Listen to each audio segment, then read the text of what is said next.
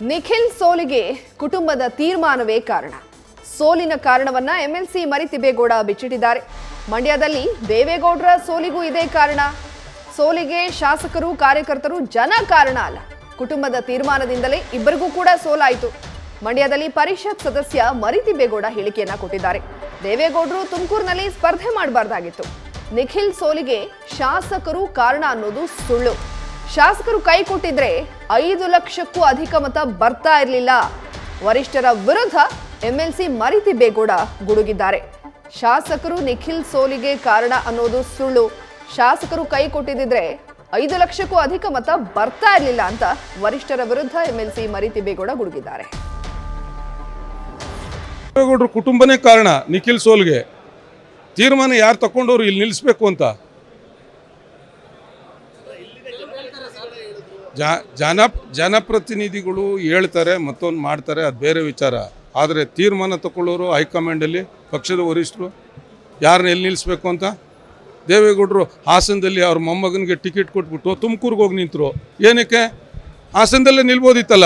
ಅವರು ಮೊಮ್ಮಗನಿಗೆ ಟಿಕೆಟ್ ಕೊಟ್ಟ ಮೇಲೆ ಸುಮ್ಮನೆ ಇರಬೇಕಾಗಿತ್ತು, ಸ್ಪರ್ಧೆ ಮಾಡಬಾರ್ದಿತ್ತು. ತುಮಕೂರಿಗೆ ಯಾಕೆ ಹೋಗ್ಬೇಕು?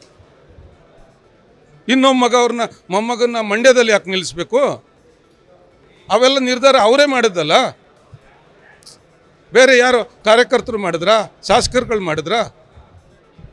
ಅವರೇ ಮಾಡಿದಂತ ಅದನ್ನು ನಾನು ಅವ್ರಿಗೆ ಹೇಳಿದೆ. ನೀವು ನೀ, ನೀವು ನಿಮ್ಮ ಫ್ಯಾಮಿಲಿನಲ್ಲಿ ಆದಂಥ ತೀರ್ಮಾನಗಳು ಇವು.